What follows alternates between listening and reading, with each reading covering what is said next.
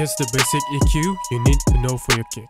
Open up your favorite EQ VST, and for me it's FabFilter Pro Q3. First you need to know what genre of music you are going to make. Different music has different kicks, and you need to EQ based on your music. So use your ears carefully.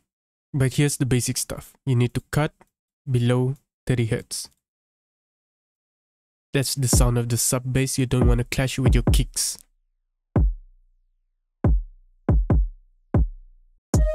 Now depending on your genre, you might want to increase the high end.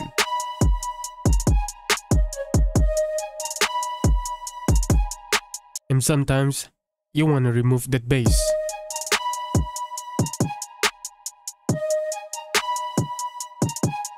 Or maybe sometimes you want to remove the high ends.